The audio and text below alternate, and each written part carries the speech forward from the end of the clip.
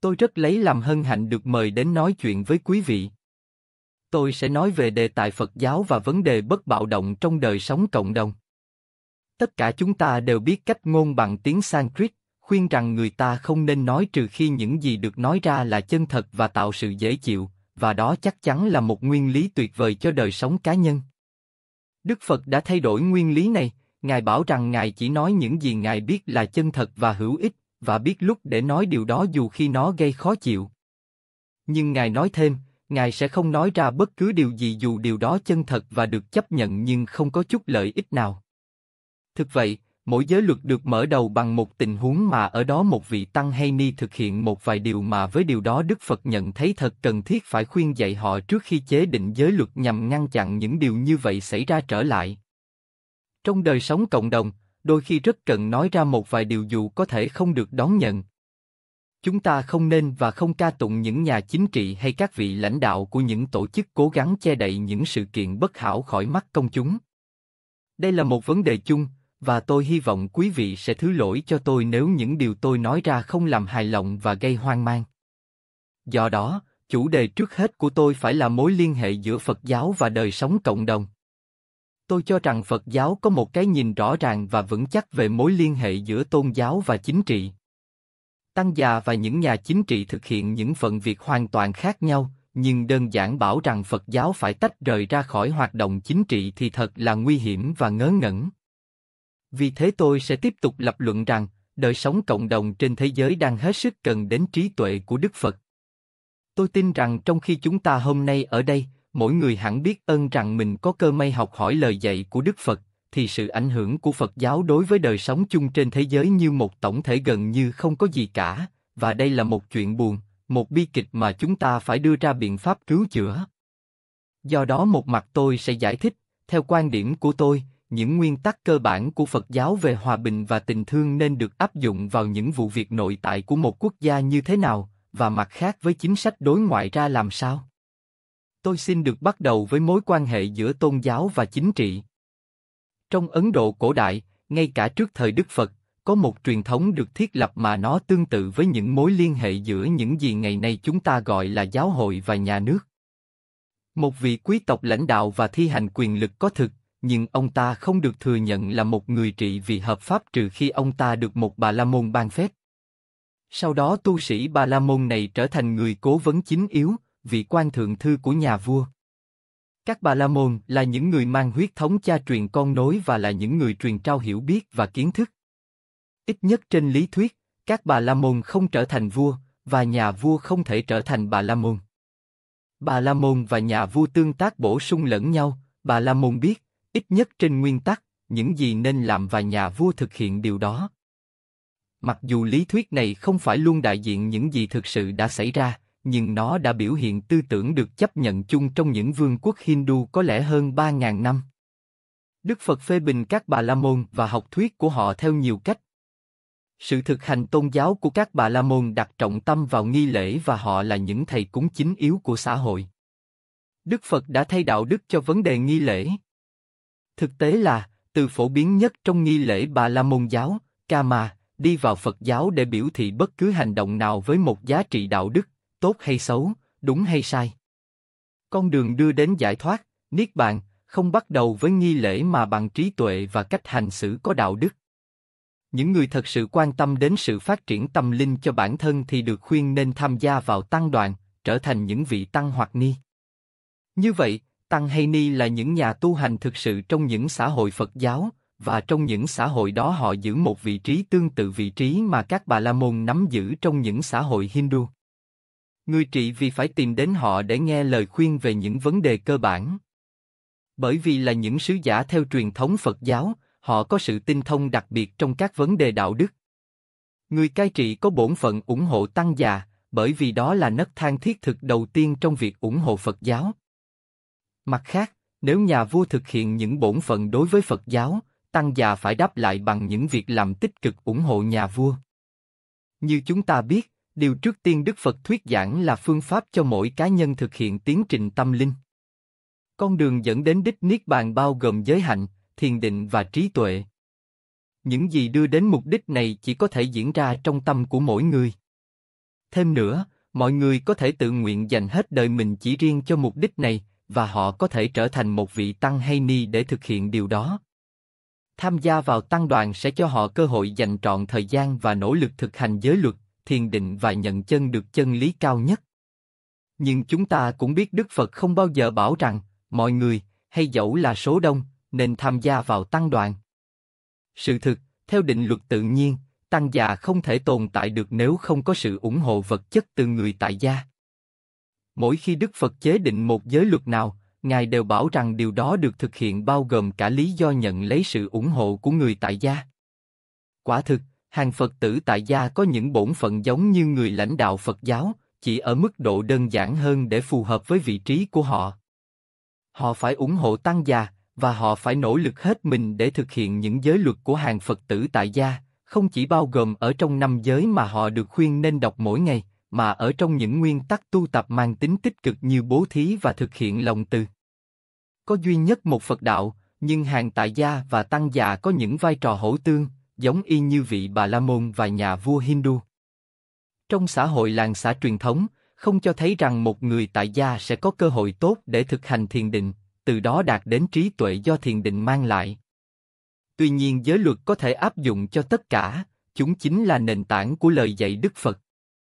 Một vài bài kinh trong kinh tạng Pali đã minh họa rất rõ những điều nói trên. Những Phật tử tại gia nên áp dụng giới luật vào đời sống của mình như thế nào được trình bày rất chi tiết trong kinh Siglova. Tuy nhiên, thích hợp nhất đối với đề tài của tôi ngày hôm nay là lời khuyên mà Đức Phật đã gửi đến những người trị vì. Nguyên lý đạo đức chung được nói đến trong kinh Pháp Cú, dùng hận diệt hận thù, đời này không thể được, không hận diệt hận thù, là định luật ngàn thu. Trong kinh Kadanta, điều này lại được nhắc đến, một vị đại vương thuở xưa bảo với vị tu sĩ Bà La Môn, cũng là quan thượng thư của mình, người về sau trở thành vị Phật tương lai, rằng ông muốn thực hiện một cuộc tế lễ lớn. Điều này đòi hỏi ông ta phải tăng thuế. Vị thượng thư tài trí cảnh báo vua rằng như vậy vương quốc sẽ đầy dẫy tội ác. Ông nói, đại vương có thể nghĩ là đại vương có thể diệt trừ được tất cả tội ác bằng cách giết đi những kẻ tội phạm, tống giam, phạt tiền, khiển trách hay đầy ải. Nhưng điều đó sẽ không bao giờ thành công mỹ mãn, luôn luôn sẽ có những kẻ sống sót, họ sẽ tiếp tục quấy rối vương quốc của ngài. Đây là phương cách duy nhất sẽ diệt trừ tội ác. Đại vương nên cung cấp hạt giống và cỏ khô cho những người làm nông nghiệp và chăn nuôi, đại vương nên cung cấp vốn cho những người làm công việc buôn bán, đại vương nên phân phát lương thực và bổng lộc cho những người phục vụ đại vương. Như vậy, những người này sẽ chuyên tâm vào công việc của mình và không quấy nhiễu vùng quê. Đại vương sẽ đạt được một gia tài lớn. Làng quê sẽ được an ổn, thoát khỏi những kẻ thù chung. Và tôi nghĩ, như vậy dân chúng sẽ được hạnh phúc và nâng niu con cái họ trong lòng họ nơi những căn nhà luôn mở rộng cửa. Những người cho rằng Phật giáo không có vị trí trong chính trị thì rõ ràng đã quên rằng vị đại vương Asoka của Ấn Độ, người đã cai trị toàn cõi tiểu lục địa hơn 30 năm vào giữa thế kỷ thứ ba trước Tây Lịch, và những sắc lệnh của ông cho thấy rằng những nguyên tắc của ông được trút ra từ lời dạy của Đức Phật. Tôi sẽ quay trở lại Asoka trong chốc lát. Nhưng tôi muốn trả lời đối với những ai nói rằng Asoka thì hoàn toàn rất tốt đấy, nhưng mà đã quá xa xôi lắm rồi, và chính những điều kiện của thế giới hiện tại đòi hỏi tôn giáo phải tách rời chính trị. Vậy thì chúng ta hãy nhìn xem thế giới Tây phương hiện đại. Trong nhiều quốc gia ở châu Âu, một trong các đảng chính có tên gọi là Đảng Dân Chủ Thiên Chúa Giáo hay Chủ nghĩa Xã hội Thiên Chúa Giáo. Thực tế, trong sự phản động của chủ nghĩa phát xít, vào lúc kết thúc Thế chiến thứ hai, cả Đức và Ý đã bầu Đảng Dân Chủ Thiên Chúa Giáo lên nắm chính phủ. Ở Ý, Đảng Dân Chủ Thiên Chúa Giáo đã nắm giữ quyền lực 44 năm, và ở Đức chính phủ hiện tại lại do Đảng Dân Chủ Thiên Chúa Giáo lãnh đạo. Nhưng có lẽ trường hợp thú vị nhất là ở Hoa Kỳ, nơi giáo hội và nhà nước được tách rời nghiêm ngặt và hiến pháp Pháp ngăn cấm việc ủng hộ bất kỳ tôn giáo nào. Điều này có những ảnh hưởng cơ bản, chẳng hạn như khiến việc thờ phụng và truyền bá tôn giáo là bất hợp pháp trong các trường học nhà nước. Và tuy nhiên có một vài quốc gia trên thế giới, nơi những giá trị và thậm chí những học thuyết của Thiên Chúa giáo đã đóng một vai trò quan trọng trong chính trị, bởi vì đó là những điều mà nhiều người cảm nhận sâu sắc và một chế độ dân chủ không thể không cho người ta tỏ bày quan điểm của mình bằng vận động và bầu cử đối với những gì họ xem là quan trọng. Ở Hoa Kỳ, phá thai là trường hợp của một vấn đề đạo đức mà nó đóng một vai trò lớn lao trong chính trị. Những người nói rằng họ muốn giữ tôn giáo tách rời chính trị thường muốn bảo rằng họ không muốn chấp nhận những giá trị đạo đức do một tôn giáo đưa ra, mà thích những giá trị khác hơn, chẳng hạn như những người theo chủ nghĩa dân tộc. Một trong những câu nói nổi tiếng trong văn học của thế giới phương Tây là dòng thơ của thi hào La Mã Horay công bố vào năm 23 trước Tây Lịch, thật ngọt ngào để chết cho quê hương. Những nhà chính trị thường thích tình cảm đó hơn là những quan điểm chống chiến tranh được một vài truyền thống tôn giáo lớn đưa ra. Tôi xin đưa ra một điểm khác về đạo đức. Tất cả những truyền thống tôn giáo lớn dạy chúng ta rằng mọi người nên thương yêu nhau, tử tế và từ bi với nhau. Bởi điều này, họ muốn rằng người ta nên thương mọi người, không chỉ đối với những người dễ thương. Thương người luôn tử tế đối với mình thì không khác hơn loại thú làm theo bản năng. Tình thương trở thành mục đích đạo đức khi nó trực tiếp đến kẻ thù của chúng ta, hay những kẻ khó yêu. Như vậy, Phật giáo có thể đóng vai trò gì trong đời sống cộng đồng để đem lại sự bất bạo động và tình thương cho tất cả? Đối với tôi, để đưa ra quan điểm chính của mình, tôi không cần đi xa hơn giới thứ nhất, không được sát sanh. Hơn một nửa số quốc gia trên thế giới đã bãi bỏ án tử hình, điều này có nghĩa rằng nhà nước không giết người. Tuy vậy, trong danh sách những nước không có án tử hình chỉ có hai quốc gia Phật giáo được nhắc đến, Bhutan và Campuchia. Điều này bất chấp sự thật rằng, rất nhiều cuộc nghiên cứu về hình phạt tử hình kết luận rằng, xem hành động đó như một sự ngăn chặn làm giảm đi tỷ lệ tội phạm là hoàn toàn sai lầm. Vì thế không có lý lẽ thực tế nào để duy trì hình phạt tử hình cả, nó chỉ làm thỏa mãn ý muốn trả thù. Sự mong muốn trả thù đó có được thỏa mãn hay không? Hình phạt tử hình thường theo sau một tội ác khủng khiếp như giết người chẳng hạn, và những tội ác như vậy chắc chắn đáng ghê tởm. Đó là tại sao đối xử với những kẻ tội phạm đó một cách nhân đạo là thật sự đang kiểm tra xem chúng ta có chân thành về các nguyên tắc của tình thương và bất bạo lực hay không. Tất nhiên, nếu một kẻ nào đó giết người tôi thương thì rất nhiều người hỏi rằng tôi có yêu kẻ sát nhân đó hay không. Đó là tại sao chúng ta có một hệ thống pháp luật, hơn là cho phép mọi người tự tay nắm lấy luật. Nhưng nếu tôi là một Phật tử thuần thành, thì làm thế nào tôi có thể yêu cầu nhà nước giết người vì lợi ích của tôi đây? Phật giáo dạy rằng những ai đã tạo ra một hành vi bất thiện thì sẽ chịu khổ đau vì điều đó, đó là định luật nghiệp quả. Tại sao làm tăng thêm bạo lực bằng kết án tử hình cũng phạm tội sát nhân? Trong kinh các Kavati Sanda, Đức Phật đã mô tả sự kiện một vị vua đã sát hại một kẻ trộm, nhưng điều đó chỉ bắt đầu cho một vòng quay bạo lực luẩn quẩn. Trong chuyện tiền thân Temia, Đức Phật sinh làm một hoàng thái tử của nhà vua. Ngài được đưa đến chỗ phụ vương trong khi ông đang ngồi trên ghế thẩm phán kết án những kẻ tội phạm bằng những hình phạt bạo lực, kể cả giết hại. Không thể cho rằng sự kết án này là không đúng, nhà vua chỉ thực thi những bổn phận của mình. Nhưng Đức Phật tương lai, Hoàng Thái Tử, nhớ lại rằng trong một tiền kiếp Ngài cũng từng là một vị vua đã kết tội chết cho người khác, và rằng như một kết quả, Ngài đã phải chịu đau khổ trong địa ngục 80.000 năm. Nếu chúng ta tìm một mô hình Phật giáo về bất bạo lực, chúng ta có ngay Đại Đế Asuka.